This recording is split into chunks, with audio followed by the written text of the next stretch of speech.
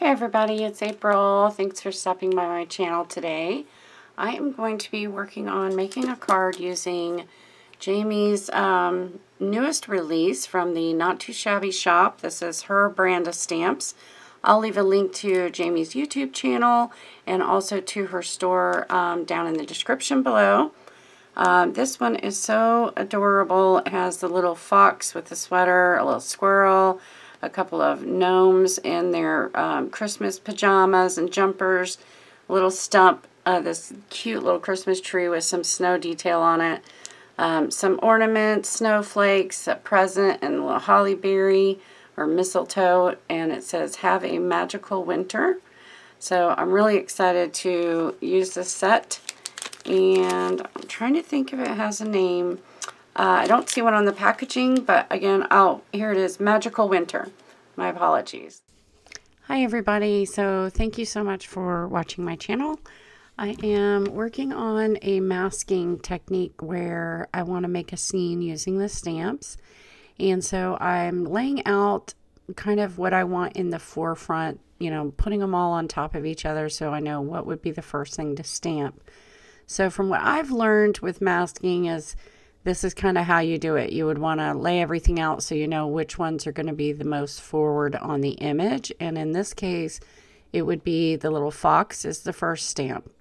The two gnomes are also going to be in the forward uh, front of the scene. So I'm just going to have those three images be the first thing that I stamp. So I hope that makes sense. Um, there's a lot of video tutorials out there that teach a little bit better. I'm still learning. So this was kind of a practice um, card for me creating a scene with the masking technique.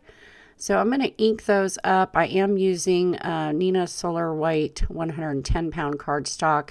I'm going to stamp these up with Memento Tuxedo Black ink and stamp them off on some copy paper just because I haven't used these stamps yet, but they, they actually stamped perfectly.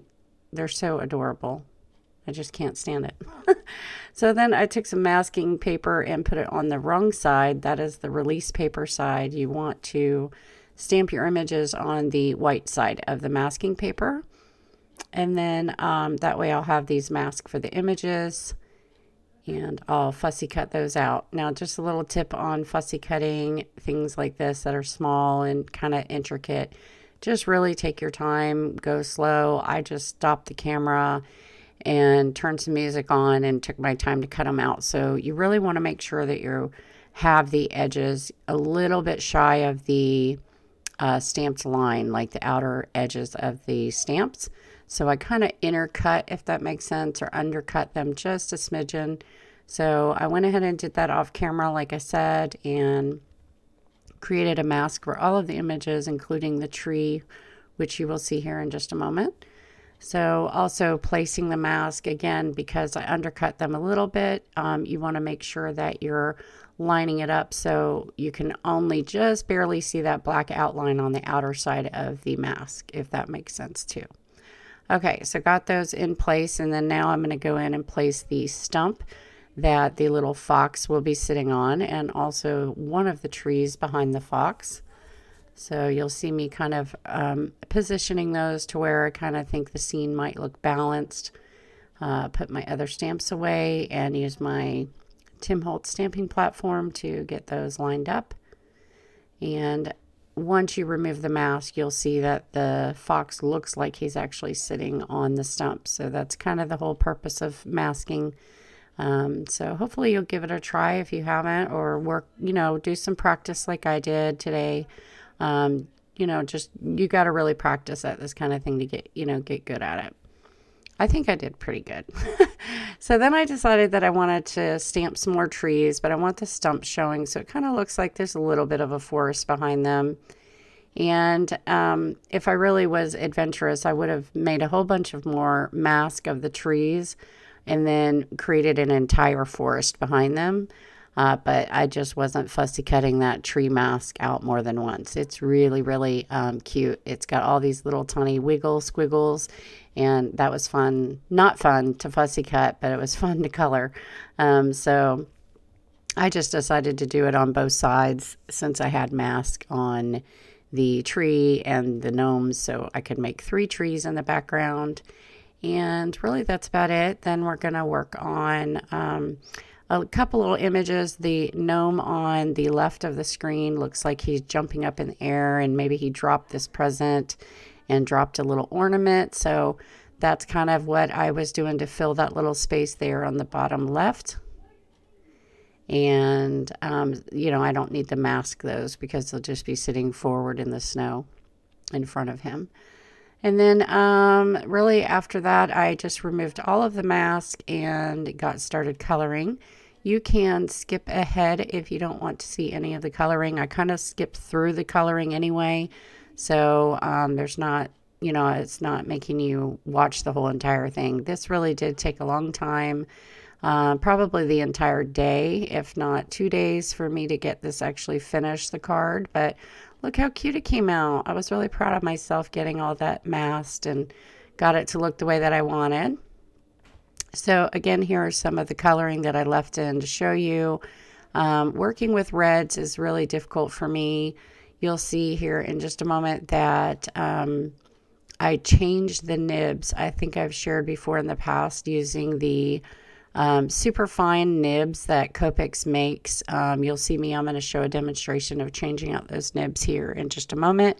But I did go ahead and change the nibs to that super fine nib. So when I was working on the trees and any other red coloring that I did, um, I wanted to make sure I had that really, really fine nib. Now, there's a lot of artists out there that are so good with Copics that they don't need those little tiny nibs, but I'm just not that great. I haven't colored in a long time or enough. I don't color daily, so um, really, if you if you wanted to just take your time and hold your marker straight up and down, it's a little bit easier to use these really prominent colors like red without bleeding. But I, you know, again, I, it's been a while, so I did get bleeding. You'll see I'll have to go in with my colorless blender and kind of clean up outside the lines where it bled too much. I was a little heavy handed. And then um, at the end of the card, you'll see me figure out a way how to cover up. After all was said and done, I somehow smudged the red Copic ink all over my background in the sky. So I was not, I was just like, no, I'm not throwing this away. I did a lot of work. I'm proud of myself. So how can I cover this red ink up in the sky? So you'll see that at the end of the video. And um, so, yeah, I thought overall um, it came out really cute. I absolutely love the stamps, love the images. And, um, you know, it was really cute little winter scene. So, again, um, I've cut, kind of cut here and there with the coloring out. So, if you have any questions of color choices I used, please leave a comment down below. Um, I apologize. It was just, like I said, a really long process. But I left in the coloring of one of the gnomes one of the trees. I started coloring the fox, and then uh, the background sky is just a really, really light blue. So here I'm going in. I really think I picked the wrong color choice for the brown of the hair, but it is what it is, you know. So those are the, excuse me, E25 and E27 markers, I believe, or 35. Sorry, I don't have my glasses on. E35, E37, and going in. I think I used the same color combo on the other gnome as well. And um, so, yeah, and then I just went in. I really was doing basic coloring. I didn't want to get too fancy with this. Um, again, I knew it was going to be a lot of coloring, so I just kept it at kind of one to two markers per image, or you know, um, here I'll bring in E41, I think that is, or E31 for the nose, which um, I went back and added some R04, I think it was, to make it a little bit more of a peach color. I didn't think about it at the time, but the gnome probably would have had, you know, um, a more of a skin colored nose. So that's what I did there and added a little bit of peach into that brown. And then I colored the presents he's holding, his little um, sneakers or his little booties uh, green and then the little ribbons in the hair green, which later you'll see I at the end of the card, I went back and I was going to make the gloves and the boots that they're wearing black. I don't know why, but it didn't work out. I mean, I don't think you can tell unless you really zoomed in, but um, I did attempt to go in and uh, cover those red and I just wanted their boots and their mittens matching and I wanted them black. So um, I attempted to do that. So if you wanted to recreate something like this, I would just really make an effort to decide on your color palette. Did you want, um, you know, do you want that much kind of mix and match? You know, I had red mittens and green shoes. So um, ultimately, I didn't like that. I should have just stuck with all red or all green, um, but whatever. it is what it is. Um, so you'll see a little bit of difference at the end of the card. So anyhow, I think we are going to finish up this one little guy and then um, I'll get started on one of the trees. So I'll be right back.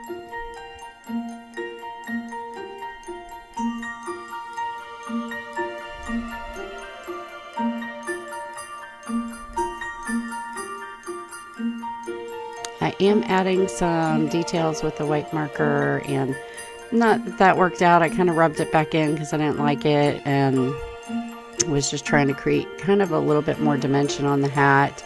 Um, adding some details to the nose and the clothes and what have you. So um, that's just something I've been trying to work on getting better at. I added some stripe detail to the present and um, went in and later I took a Stardust jelly pen and I actually did those buttons with the Stardust Jelly Roll pen. So it's a little bit also the ribbon on the presents. I used a Stardust pen. I'm not sure if I show that in the video, but I did. And added some Stardust details to, I think, the other present laying on the ground. So I did bring in three of the jelly rolls, the black for the eyes, white for details and the stardust for kind of the ribbons and the buttons and things like that. So here's the stardust, I believe. Yeah. And I'm sorry if you can hear Ethan in the background. He is gaming, so he's being kind of loud. But um, we're almost done here. I'm sorry. I really should have uh, just cut this part out, but I thought someone might be interested to see how, you know, I kind of do my coloring and how my thought process is with uh, Copic coloring. Again, I need more practice. Um, I need to just sit down and do more Copic coloring every day. But there we go. There's one of them. And then here's the little demo I was telling you about using the Sketch Fine marker nibs. And I decided I'm going to change out my reds. And I think I changed out a green marker as well because I wanted to use it for the tree. So we have, yeah, so we have a green and then I decide to do a lighter red and a darker red marker and put those in. And I'll show you here in a minute how different that size is. So there's your regular brush nib and the Sketch Fine. Another, that's my R59 I think I decided to go with. Yeah. I think the other one was R27 or R29. And then the green. I'm not sure what color that was. I'm sorry. I think I showed the cap on screen, but I didn't want to waste this, all this ink. So I grabbed some Yupo paper, some alcohol blending ink, and just decided to get what I could out of those before I toss them.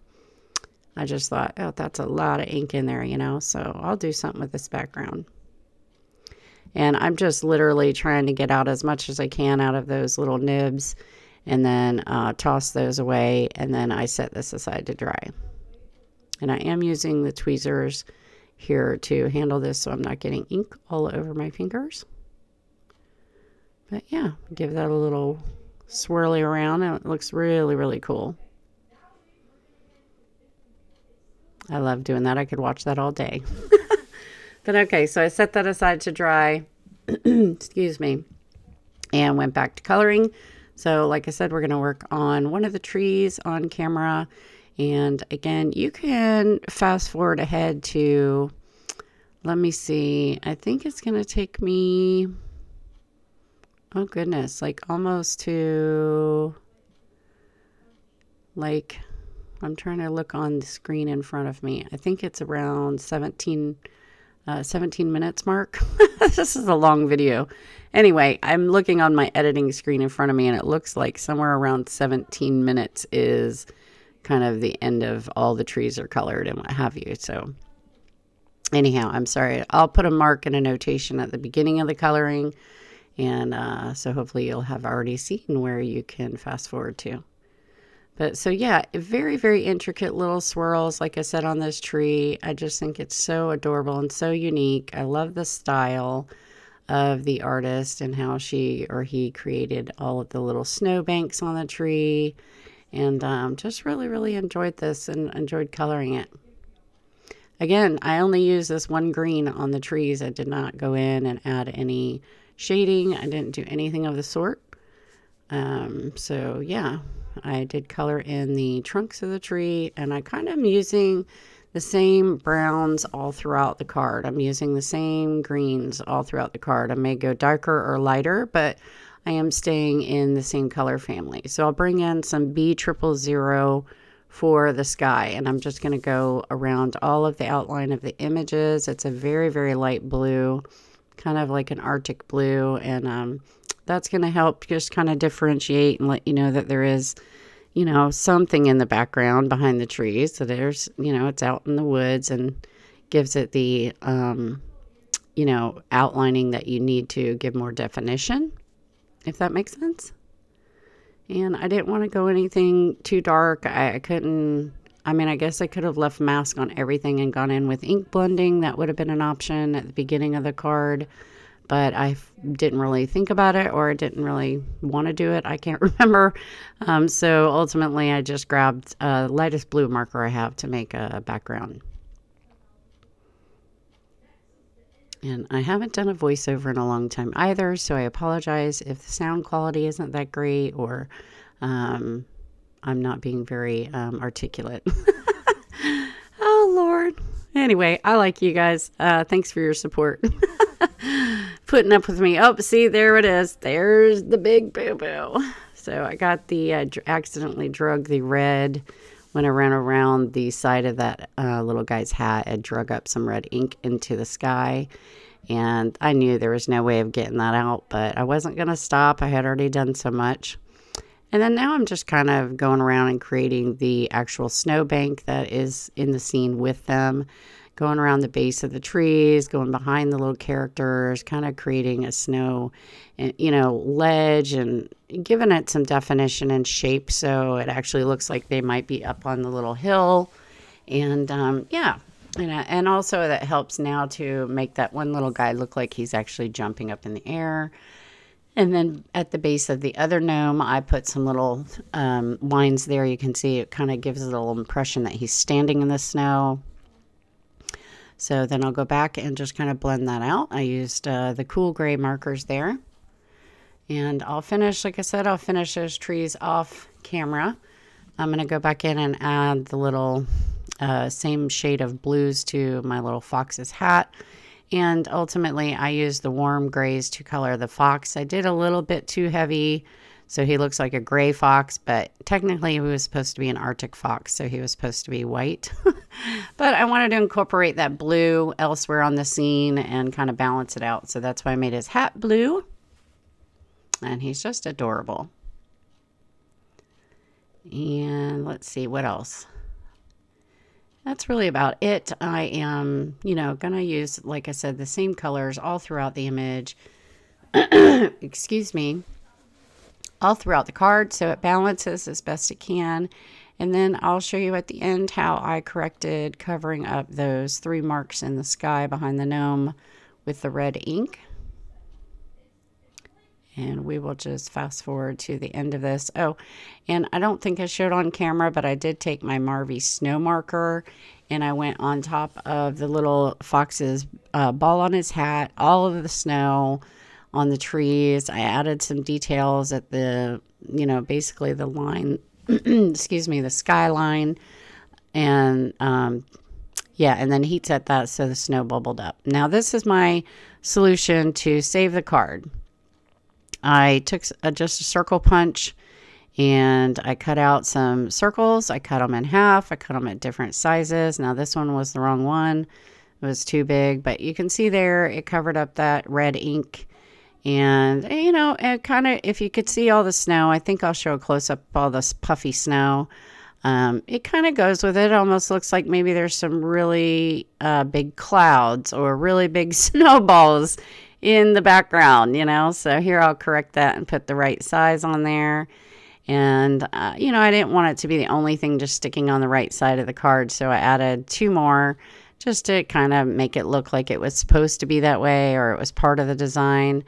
Um, but that's all I could think of, honestly, to salvage the card after all that work. But I think I'm going to show you here the close up of the snow detail. That Marvy marker is just really cute, you know, cute and cool, adds texture to the card. And then I thought, well, you know, I'm not going to put a sentiment on the front, so let's just add some embellishments. I went in with some Pink and Main enamel dots, these little gems and uh, I just ultimately decided to go with the little really light blue uh, to bring some more blue, and then there's some gold detail with that um, Stardust pen. Um, and so I added some little gold ones as well. And that's the card. Thank you so much for your patience and your time. I apologize if the voiceover wasn't that great. But again, it's been a while since I had to go actually go out buy equipment to do the voiceover because um, the way that my computer is set up, I couldn't do a voiceover and music or even edit and do a voiceover. So I had to buy an adapter. So hopefully this is better. You don't have to listen to music the whole time, just my little uh, scratchy voice. anyway, I appreciate you guys. I'll leave a link to Jamie's shop down below if you'd like to take a look at all of her adorable stamps that were released for winter. They're just really cute. I can't wait to pick up a few more.